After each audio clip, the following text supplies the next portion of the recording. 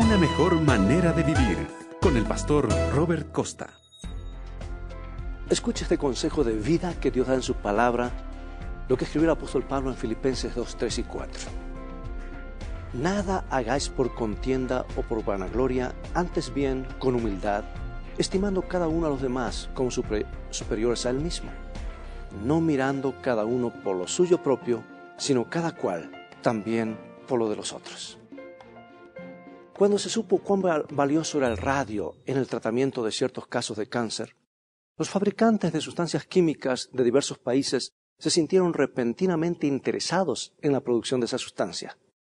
Pero no pudieron cristalizar sus planes porque no conocían los métodos de extracción que, habían sido descubiertos por Pierre y Marie Curie. Por lo tanto, acudieron a los Curie para solicitar información. Esto consideraron privadamente las solicitudes.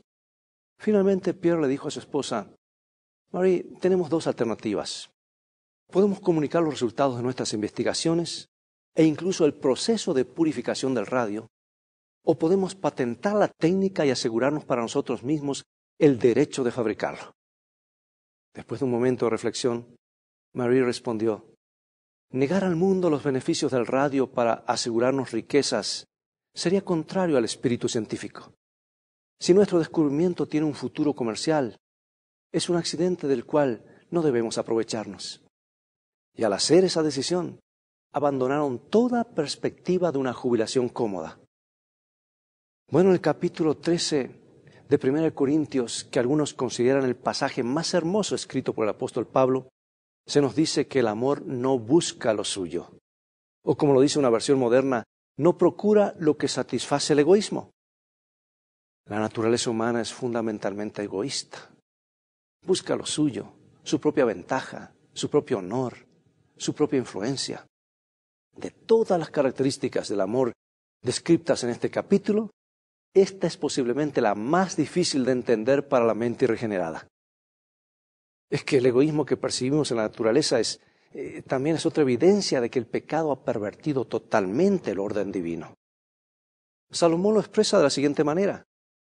Dios hizo al hombre recto, pero ellos buscaron muchas perversiones. Lo dice en Eclesiastes 7:29.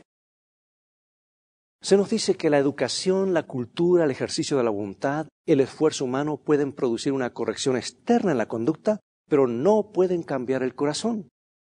No pueden purificar las fuentes de la vida. Debe haber un poder que obre en el interior y ese poder es Cristo. Si alguien está poseído del amor abnegado que Dios engendra en el corazón, se absorberá de tal modo en el cumplimiento de su voluntad que el yo ocupará su lugar adecuado en la vida y se ocultará con Cristo en Dios.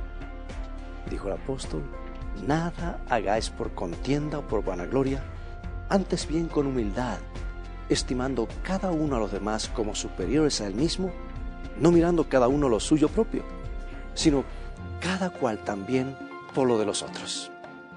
Practicar este modelo es siempre una mejor manera de vivir.